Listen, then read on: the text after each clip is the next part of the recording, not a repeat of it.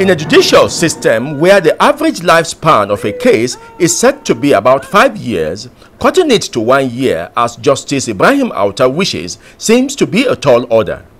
But going by the statistics reeled out at the opening of its new legal year, the Federal High Court already seems to be on its way to achieving that goal. But Justice Auta is hoping that the shortfall of the judges of the court will be quickly addressed. The ultimate aim was and still remains to ensure that no party is allowed to delay cases on unduly. The judges of the court from all the divisions have been doing their utmost best in handling the cases before them. The Nigerian Bar Association, body of senior advocates of Nigeria, and the Nasarawa State Judiciary all commended the Federal High Court for creating greater access for litigants across the country.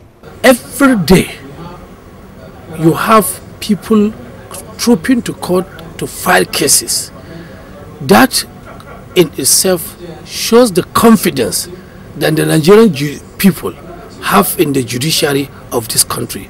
The body of senior advocates are prepared and ready to work with them to give um, administration of justice what it deserves in this country. I am commending the Federal High Court for making it possible for Nigerians to access courts physically